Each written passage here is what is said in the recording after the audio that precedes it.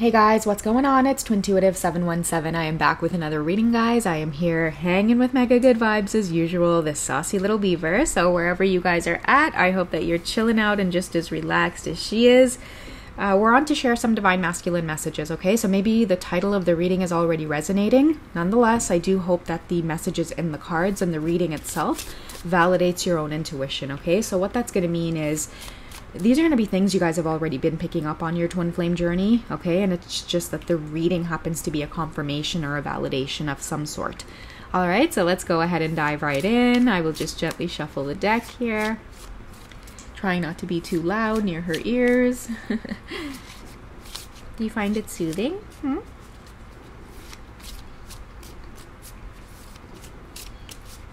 Okay, guys, I'll rest it down here and I'll cut the deck in half and we'll see what the masculines want to communicate as their main message to the divine feminines.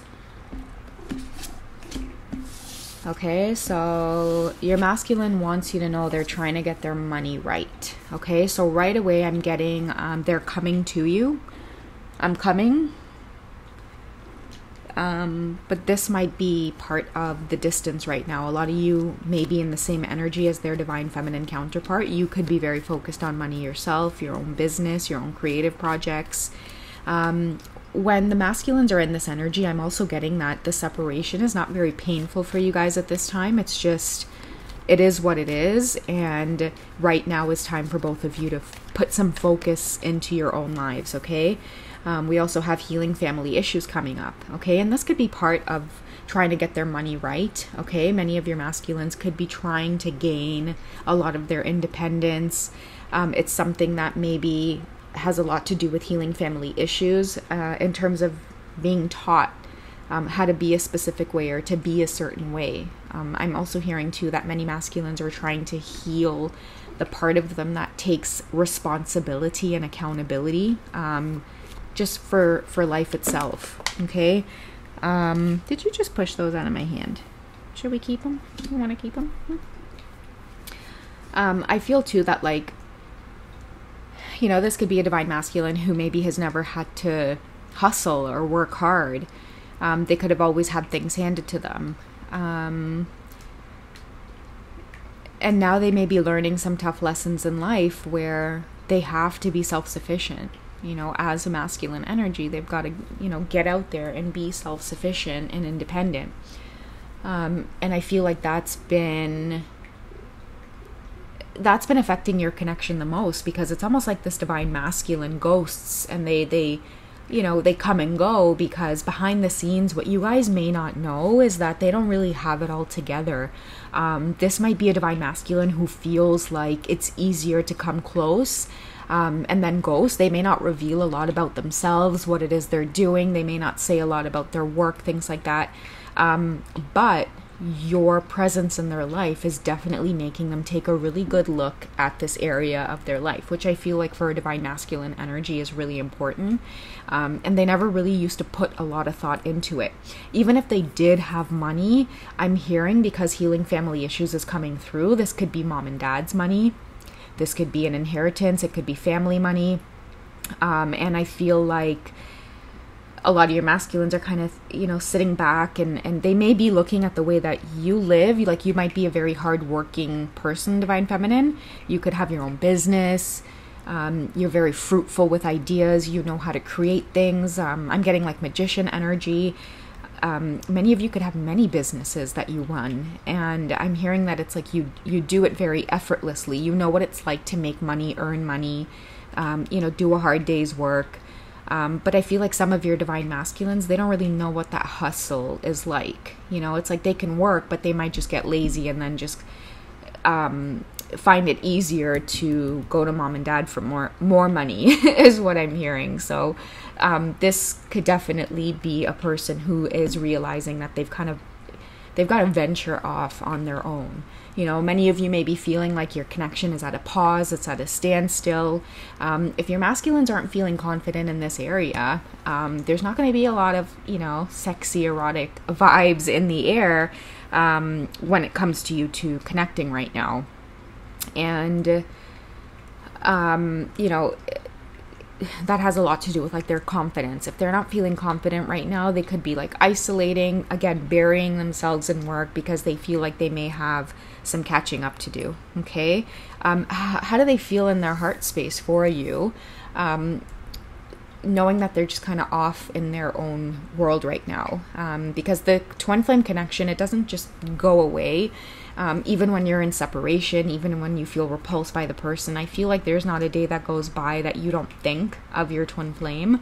It's just a natural thing. It's like they are their energy or spirit is is permanently um, present with you all the time, and so that's kind of what I want to dig into. There is, um, you know, what is the masculine's higher self feeling for the divine feminine. So, behind all of the earthly and worldly obstacles, uh, what is the true feeling inside of the masculine's heart?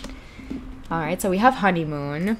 Um, they could be fantasizing a lot about maybe taking you away, um, going on vacation, maybe saving up, save, saving up enough of their own money to do things that are very special for you um, you know, get away, take you away, spend time alone with you. Let's see what this one says. Okay, that passion card again. Allow your heart and soul to sing with joy. The, this card here, I think, really depicts that feeling of this is someone who thinks about you every day, even in the moments where you know, they may not be feeling as confident. They may not be feeling like they want to reach out. They could be really busy. I feel like whoever this divine feminine is, uh, you need to know that this masculine checks in on you every single day.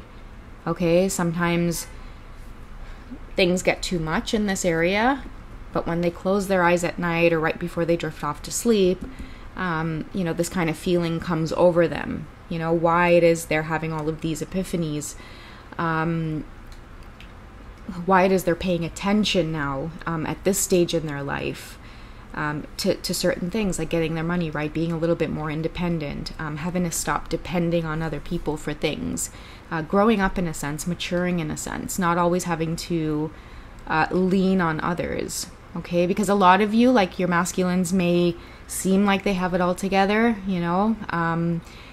But I'm hearing that for some of you, it's like you only see glimpses of them, right? Which is why it seems like they have it all put together. But I, I really do feel like behind the scenes, um, there's a lot of healing that's happening, okay? And if you guys can feel it, they're busy, they're MIA, um, you know, working hard. Some of your masculines could be working two jobs, um, or they could be working one job where they will consistently seek out um, a lot of overtime just to kind of keep busy.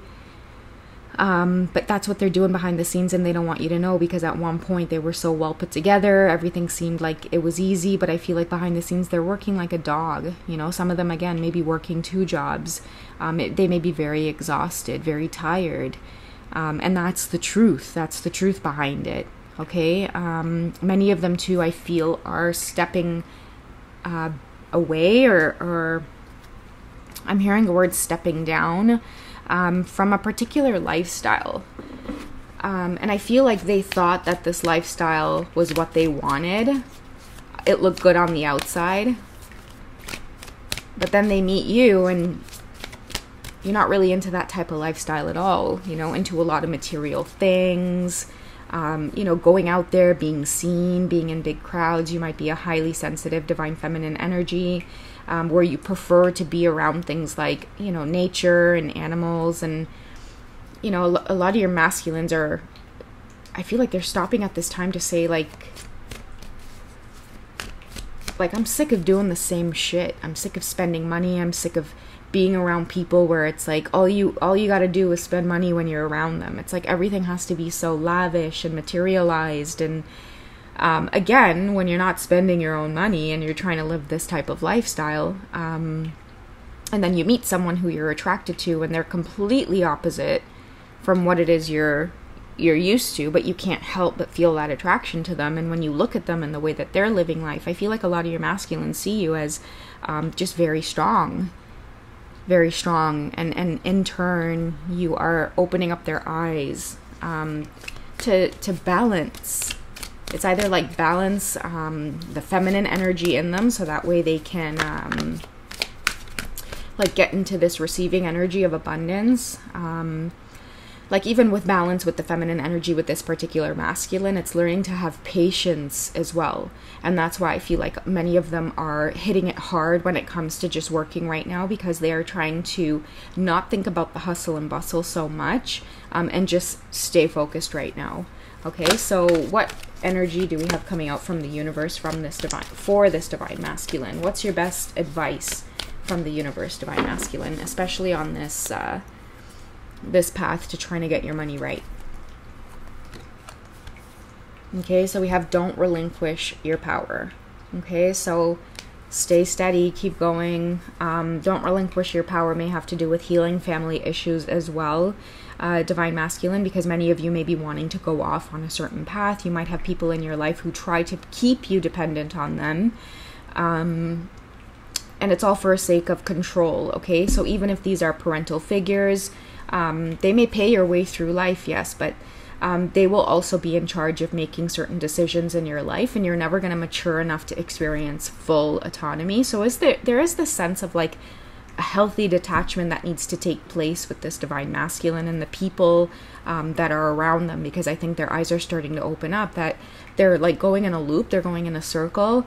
Um, their life's not really going anywhere. Um, yes, they may have a lot of money um, they they have a lot of material things, but it feels really empty and it feels really boring, you know. Um, and then again, like I keep hearing, and on top of that, they they're not even spending their own money. uh, like I keep getting that it's like you know family money, which is why I think family issues is coming up with this. Um, so it's like no matter how much money they have or how well off they seem like they are, they're not feeling that way because they know they haven't earned it themselves. Um, probably much like you have, Divine Feminine. Okay, let's get an outcome card here.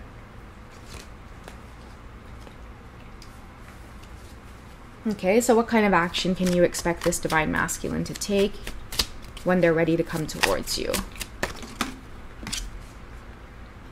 Okay, so oh, we have the Two of Cups here, okay? And I feel like that goes hand in hand with this honeymoon card, uh, which is making a proper offer, okay? Coming from a place of, you know, true power, okay? True authenticity. And I keep hearing too, like, this is a divine masculine that's very grateful that you came into their life and taught them this lesson before it was too late okay because now i see them really contemplating a lot of major moves and, and life decisions that it's almost like oh my gosh I, I never i've never had the autonomy to make my own decisions. Because now they're probably making their own money. They don't have to ask anybody for anything. They don't have to do what people say just because of you know people kind of paying their way through life.